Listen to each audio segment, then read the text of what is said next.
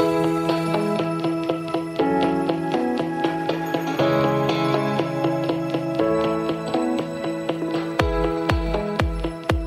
everyone, I'm Carla, And I'm Lanes. And together, we're the Aft Deck. where each week we recap an episode of Bravo's hit reality TV show. Below Deck. Hi Lanes. Hi, Carla.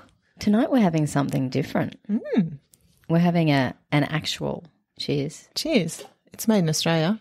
It's sparkling water, lime juice, lime juice, and vodka.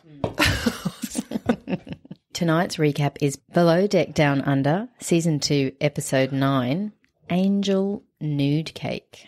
In this episode, Culver has the controls and clearly should not. The new stew, Jaimee, arrives and rocks the boat big time. And Harry and Margot have their first date. But has that ship already sailed? We start off where we left off with the tender smashing against the railing. Oh my God, the tender. Oh God. They're trying to control this swinging tender. Luckily, Captain was holding one end, and was it Harry on the other end, trying to hold it with a rope? Was it Harry or Adam? I, can't, I don't know, but Can't either now. they struggled to get any kind of control over it Yeah, because Culver's controls were not controlling anything. that's right. Culver is just like, oh, this fucking wind, bro. and then he says, fuck this crane. Like, it's swinging back and forth, like we said. It eventually smashes down into the docking thingy with a crash. Correct, with a smash crash. Like, I thought that boat is going to be. split. Yes. It doesn't. No. And Captain Jason is immediately like, What happened? We had no control. I think you were on rabbit, not. Turtle. And if you get a swing on, that's when accidents are going to happen. It's fixable, but there are repairs to do. It's going to cost about $700. Lucky Culver. The Deckies are dissing Joao for going on the kayak first chance. And I'm like, It wasn't even his choice, boys. He was asked. Take a seat. Adam walks off uh, saying, We know who's getting the helmet this charter. Well, yeah, that's obvious. No, but like, way to rub it in. The guests get back to the boat and they have drinks. And the chef is making cakes for dessert to decorate the primary with. So she's dessert tonight, her body decorated by the chef. She's going to be painted in chocolate, berries, and chef is super excited. She's asking Margot if the cakes are going to be too big for her nipples. Margot's like, um, I guess. Well, Captain talks to Joie about the tender. So he's explaining that it was probably in fast mode and that maybe Culver isn't the best person to have on the controls. no shit. so Joie feels that when a captain gets involved in deck crew stuff, that there's a lack of trust in the team. So he wants to prove to Jason that he can be trusted now that he's on board. Mm. I do feel that this captain is very involved Very. with the day to day. Always hands on. Yeah. I So don't- is it hands on or is it having to manage? He doesn't do this a lot with interior. No, I think it's a bit of both. I mean, he's hands on with interior in the sense that he comes and runs plates, he washes up, he cooks freaking lobster and steak. He's stepping in and helping. That stuff's already organized. Yeah. The deck team, he's he's leading them. Yes, true. So it's kind of a bit different. So we've got Adam and Culver still working and Harry and Joie on a break. Margot's feeling a little something something about the new stew coming on. She's been enjoying growing. And the challenge, Yeah. she says, I'm not going to grow in laundry. Mm. So she's bummed about having to go back. If that's what she's seeing in her head, someone's going to come on. I'm going to go back to what I was doing, and I'm not really excited about that, which I get. Just as she's finished saying that, the tender's approaching. Here she comes. oh God, says Margot. Like, far out. And Jaimee's on board. Everyone is very excited to see her. What a welcome!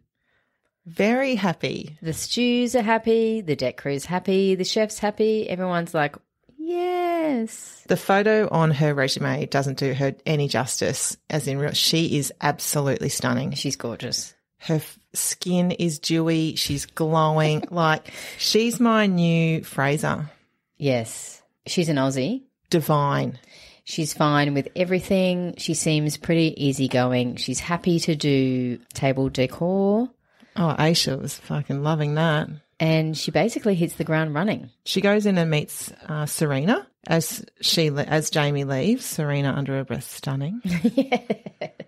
Adam Culver and Harry are on the deck, and they're taking a minute to admire the stunning sunset. And they're all wondering what Joie even does. Where is he? What, what does this kid do, bro? We'll cut to he's cleaning the entire storage area. Yeah. He's working his ass. He's definitely a hard worker. No one's saying he's not, except for the deck crew. Here comes the rain. Again. All crew in your blacks. Jaimee meets Culver. And to camera, Culver is like, "Whoa, this girl is gorgeous. Gorgeous. And Jaimee says, bit of foreshadowing here dating on yachts is fun. You just forget that anyone else exists. She loves a good boatmance, and she can already see some options in the deck crew. So I've noticed that every single person that meets her, the co- they comment on her looks, like how stunning she is. So so next is Adam. They meet. Now he doesn't say anything initially, and Jaimee and Margot keep getting ready for the night, and this is when it happens. Adam turns around to Culver and says, "Great pickup, solid draft. She looks like she's going to be a great asset to the team." solid draft. What does that mean? Is that. She's hot. yeah, okay. Harry meets Jaimee. And I was like, I wonder what Harry's going to do when he meets Jaimee. He's just excited she's an Aussie. Yes. He's in golden retriever mode. He's just happy. He's happy because he's got a date coming. Margot's got nothing to worry about. Margot was ready to jump ship. Yeah. Well, that's because she was there. Yeah. And um, Harry's like, "Oh, you're an Aussie," and she's like, "Yeah, I am. Are you too?" And he's like, "Yeah, I'm from Sydney. Newcastle, Sydney," and she's like, "I'm from Perth." Margot exits stage left, whispering under her breath, "I'm from Wisconsin," and she's off. Well, he's smitten with Wisconsin, so he's fine. Like, she's fine. Yeah, he's a golden retriever. He's only going to focus on one thing. He's loyal. Uh, if people haven't listened to the prior episodes, they're not going to get my dog references. No, go back and listen to a few. All the deck crew have been assigned dog breeds. And if I didn't, if I couldn't think of one that wouldn't offend someone, I just called him a bad dog.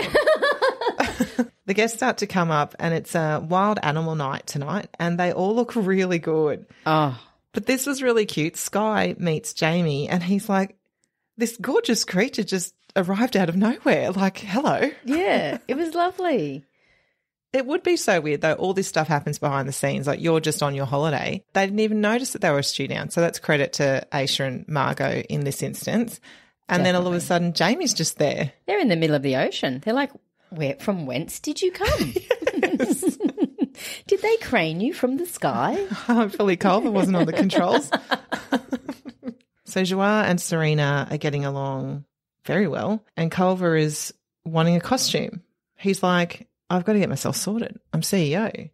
I need to be on my game." What does he end up wearing, Lanes? Well, he finds himself for what only can be described as Steve Irwin. or uh, David Attenborough? He's got khaki shorts on, a khaki shirt on, a hat with a mullet, and he's got a rope around him and he's wearing glasses. Big rimmed black glasses. So those glasses are not Steve Irwin, but everything else is. And he does try to put on an Australian accent. and I think he's buttoned down to the waist. Oh, the shirt's open. Yeah. Chef loves it. Aesha can't speak. She's laughing so much. And when the guests see him, Laura says, Oh my God, come discover me. She's got some great one liners, Laura. yes, very good. Dinner is grab my rack, which is a lamb rack, which they love. So they eat that, they clear the table, and they get the primary naked for dessert. Now, none of the guests know. This is a surprise for them. Aesha calls the crew and says, Look, I'm going to go get the primary ready over the radio. So if you want to come and watch, you know, come in about 10 minutes. And Captain Jason says back on the radio, Do you really want the crew watching, or is this like an intimate thing? Aesha's like, Who do you think these people are, Captain? Watching? Of course. And Which she's is right. so true. It's so true. Aesha is so excited. Tzarina, so excited. She's just hoping she doesn't cross a line. Insert cheeky face emoji. Yes. You can feel the sexual energy in the room when she starts, can't you? Oh my god! And the prep that she's done for the correct chocolate. Yes. Like all day, she's done different kinds of chocolate, like dark chocolate, milk chocolate. Which one's going to be on the body best? Laura comes out and she says to the guests, You're hungry for dessert, right? And they're like, Yeah. And she takes off her robe and she's only got a G string on. She gets up onto the table. She straddles the table. Margot's got her phone out filming Harry's face again, golden retriever. And then it's like, this is the first time he's seen a naked body. Honestly, Harry's mouth is just like, could not get any wider. yes. Chef takes her time. She's got this big paintbrush. She dips it in the melted chocolate and she is just mm, painting, slowly painting. Everyone is, Getting hard.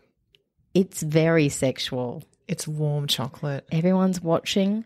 Laura's like, it's like a big, wet, warm tongue. Culver's watching every angle. Everything that Chef does is deliberate. It's like foreplay because she does this painting and then she's like spraying her with gold. She tops her with cakes. She finishes with some squirts of whipped cream. And then she does this final drizzle with maple. Voila. Dig in. I was just like, oh, uh, mm, that, yes, looks good. and all the crew were like awkwardly standing in one corner, like watching, but no one really knew what to say. And then when the guests start eating the dessert, the crew still don't leave. No, they watch. They're just still there, like mesmerized. starstruck. just can't move, must stay watching naked body. Dessert's finished, and she's got to get all this chocolate off her. Yeah. Oh, someone's got to do it. Adam, I actually thought he would be the least likely person to put his hand up for that.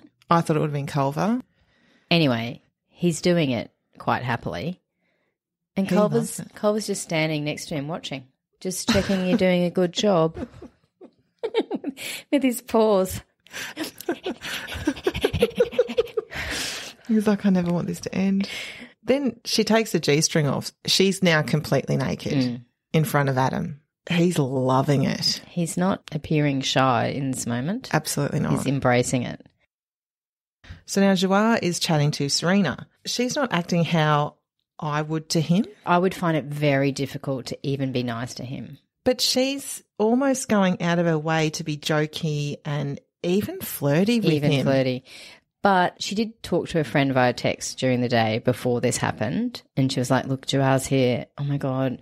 And her friend said, Look, just be his best friend and get through the charter. Yeah, but you can do that without the innuendos. Yeah. They definitely seem to be very comfortable with each other, is what I'd say. Mm.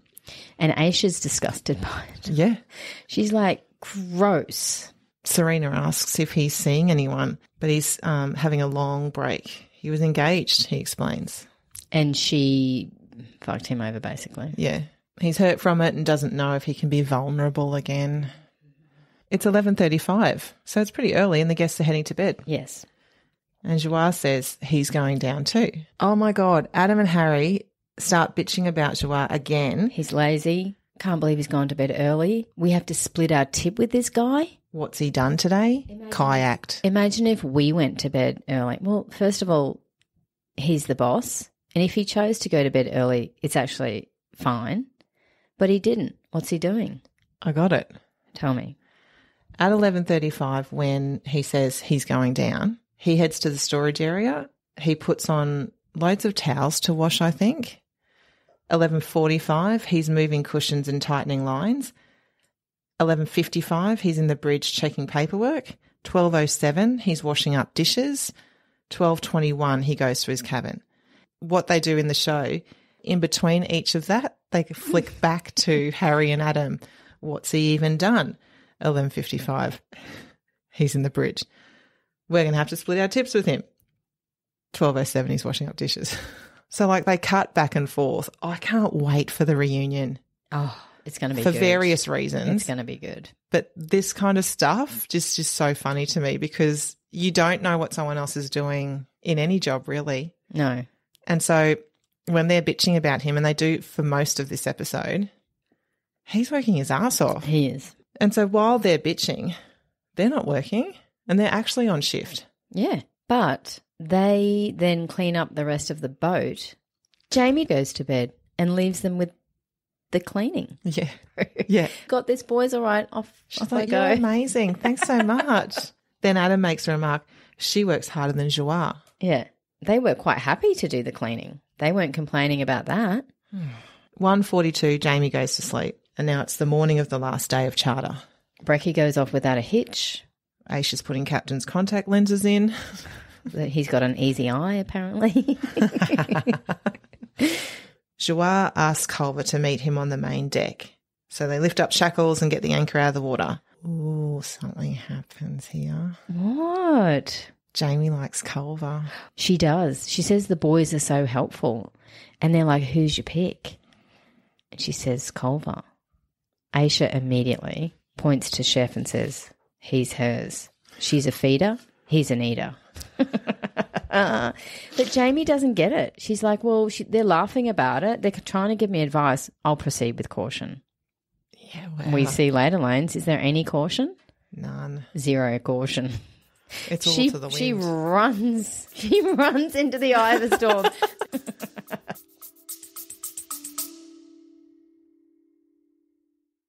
If you'd like to support us, go to the link in the show notes and buy us a coffee or subscribe.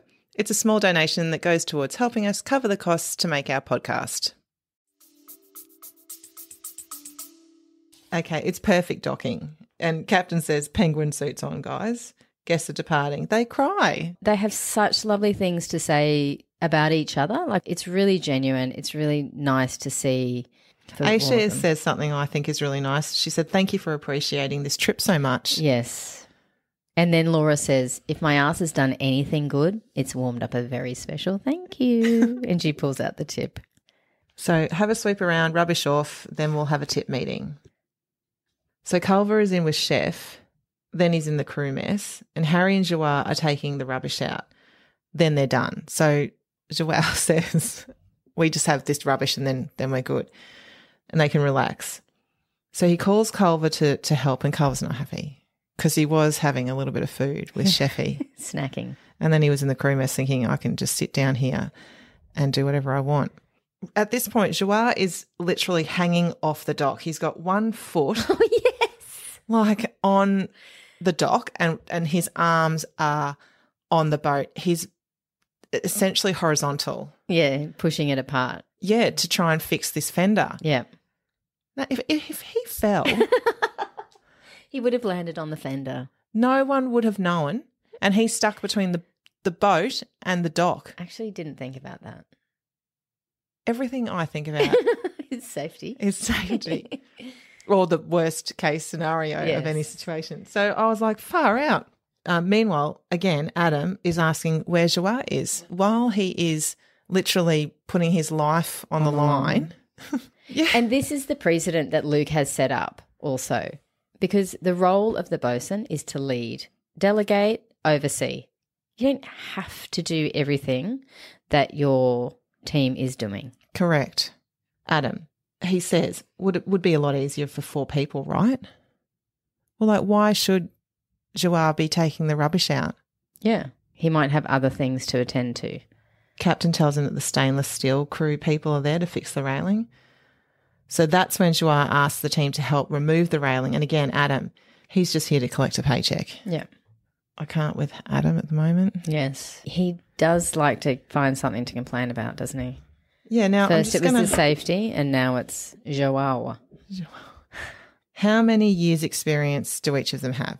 Because this Adam seems to know a lot of stuff. And Joie has six years of yachting experience, four years of captaining smaller vessels, and now he's wanting to captain larger vessels, right? So it's 10 years all up. Adam has one year experience. Of boat school. Mm. He's just more qualified because it's all been, it's all on paper, not in practice. one year. Sit down, Adam. Sit down. honestly, 10 years versus one, tip meeting. Culver, of course, gets the helmet for tripping up Captain, yep. And the tip is twenty thousand US dollars, which is one thousand one six six six each. Devil's number. Lane, so you're going to take a guess tonight? Don't say, "Do I have to?" Because last week you guessed I it nailed it. Yeah, I know, but like exactly. that so was just a guess. one six six six. I'm going to say 2,100. Close. 2,584.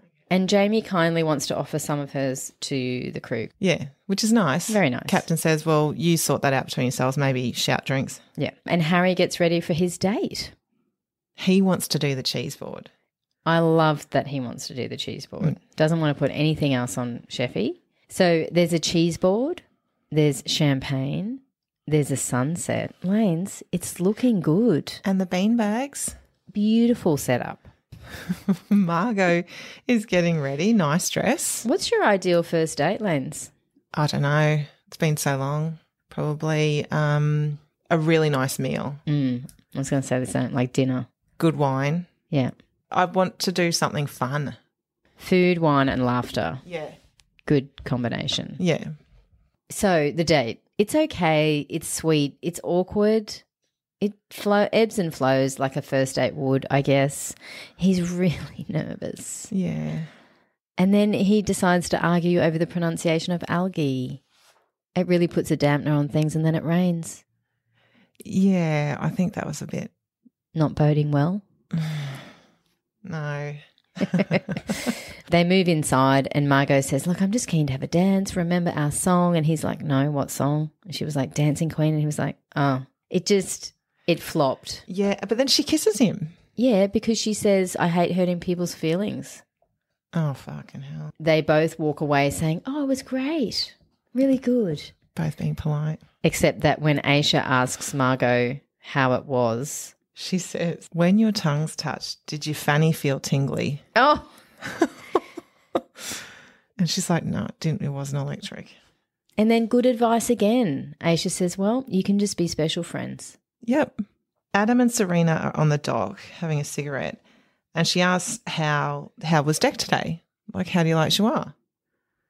And uh, Adam goes in for the kill there. He says like he hasn't helped him with shit. He doesn't like him. So Tzarina's like, "Well, are you going to speak to him about that, or do you want me to? Won't be good coming from the chef." Yeah, good on her. You want to complain? Take it to the person you're complaining about. Yeah. I really appreciated that. Yeah. So they're off to dinner. In the car, Aesha starts on Chef, saying, You look really comfy with the womanizer. Aesha is not happy with what she's seeing, these little interactions between Chef and Joelle. And Chef's like, No fucking way. Not after what he did to my best mate. That is not going to happen. Then they go to the dinner, and she says it again at the table. She says, You're really all over him. You're acting like his best friend, and you just seem like you want his dick a bit. Mm.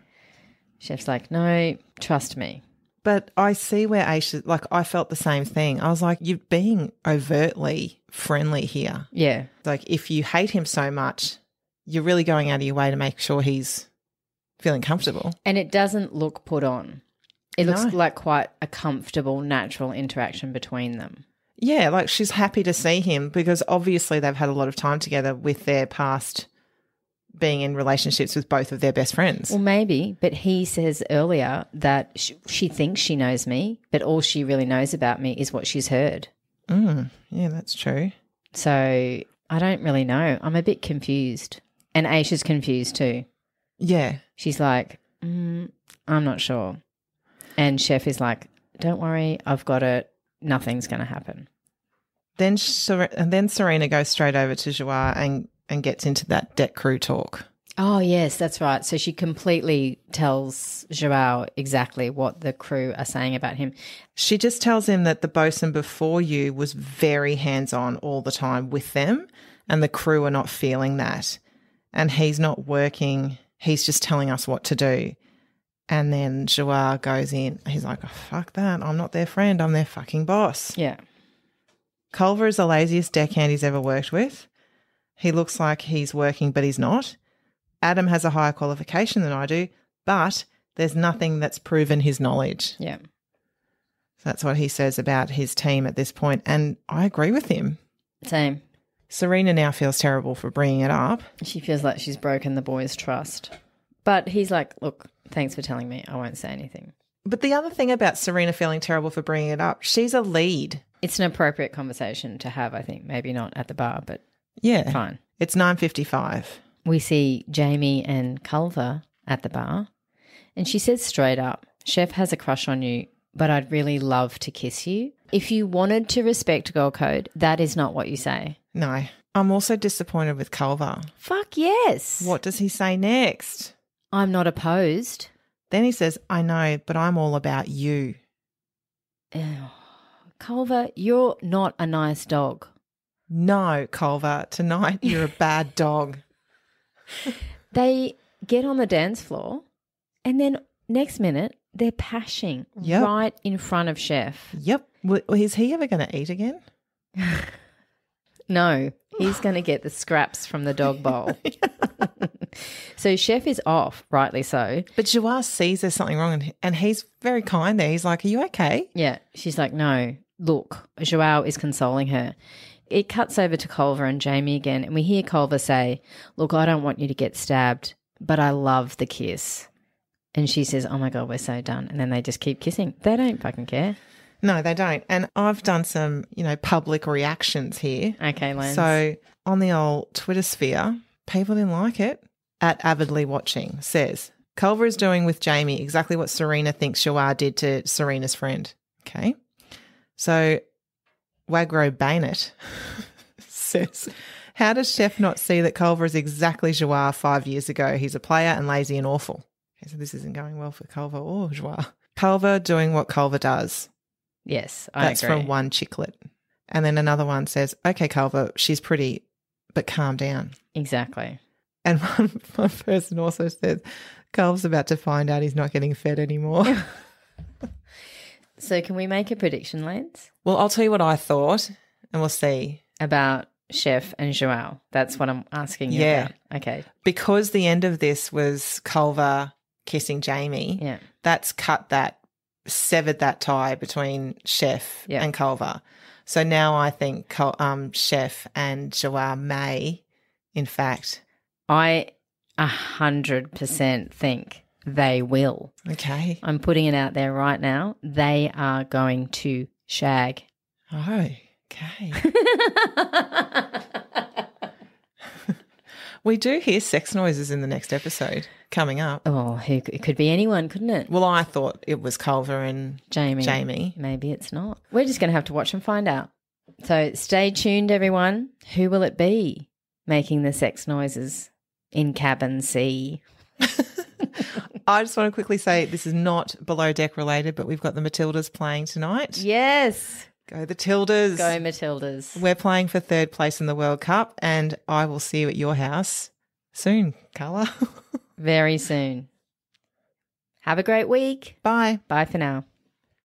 If you'd like to follow us on Insta, come over to the aftdeck.pod. or send us an email on the afterdeckpod at gmail.com. We'd love to know what you think about the show and what you'd like us to cover for upcoming seasons.